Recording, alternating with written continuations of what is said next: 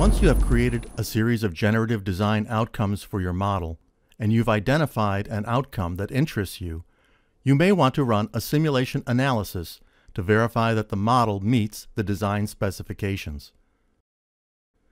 In this video, we will show you how to create a static stress study of the generatively designed model with all the design requirements set up automatically and save it as an SDZ file that can be opened in ANSYS Mechanical.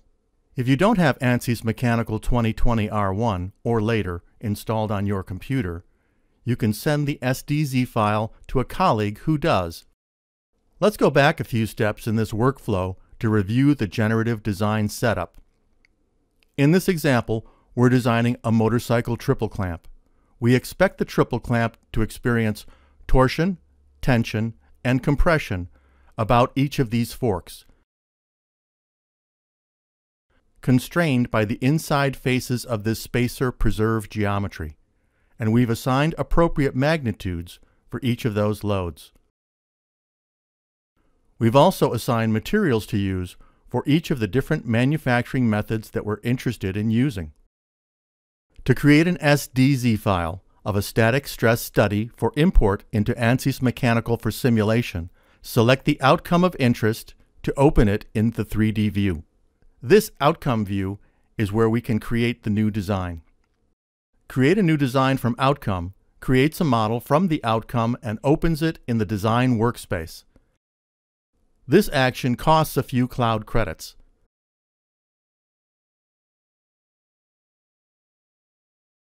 To access the static stress analysis setup, we need to switch to the simulation workspace. Fusion 360 recognizes models created by generative design and prompts you to create a static stress study. Notice that all the design requirements that were set up in the generative design workspace, the materials, loads, and constraints, are included automatically in the static stress study setup. There is a button here to send the static stress study to ANSYS Mechanical for analysis.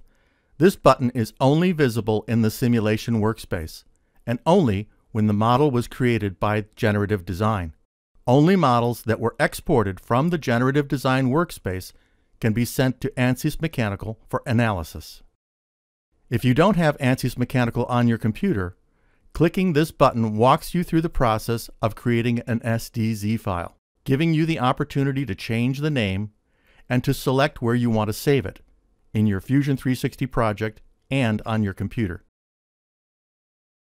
If you save your file to your project and your colleague has Fusion 360 or Fusion Team installed on their computer, you can invite them to your project where they can access the SDZ file. Click on this link if they don't have either Fusion 360 or Fusion Team installed to open Fusion Team where you can send them a link to the file. When your colleague receives the file, to import it into ANSYS Mechanical 2020 R1 or later, they open the ACT Start page. Enable the External Study Importer in the Extensions Manager, and then follow the wizard to open the SDZ file. Select External Study to run the wizard. Select Fusion 360 Simulation as the study type and browse to the location where the SDZ file is saved. Then click Import to run the conversion. When the file opens in ANSYS Mechanical, the same studies that were automatically set up in Fusion 360 based on the generative design setup are set up in ANSYS Mechanical automatically, ready for analysis. With the results you receive back from ANSYS Mechanical, you can now decide whether to tweak your design in Fusion 360 or set up a new generative design study with different design requirements, or even proceed to the Fusion 360 manufacturing workspace to simulate the manufacturing process.